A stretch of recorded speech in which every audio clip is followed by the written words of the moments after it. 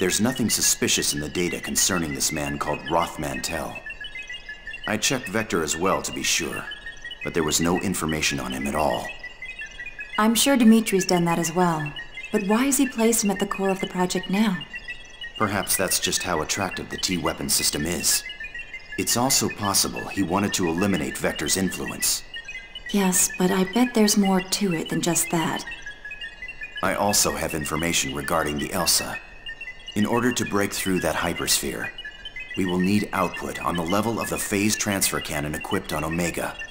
That's not going to happen. We can't use it considering how unstable its systems are. And besides, Dmitri would never authorize it.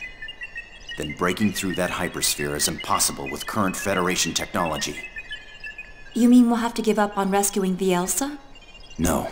I just said it can't be done with Federation technology. According to my database, there is another weapon capable of breaking through it. Another weapon? KOS-MOS' tertiary weapon system.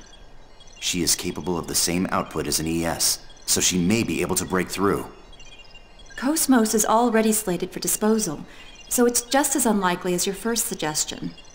Is your situational analysis capability defective? How are we supposed to equip her with her tertiary weapon system? And send her to that region of space?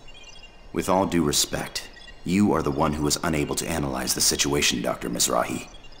That freighter infiltrated a region of space under martial law for an illegal expedition. Officially, it doesn't even exist.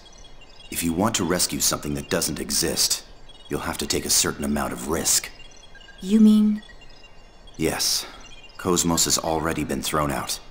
That doesn't mean we can't reuse her.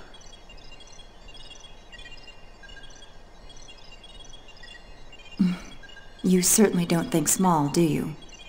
I was designed specifically for such objectives.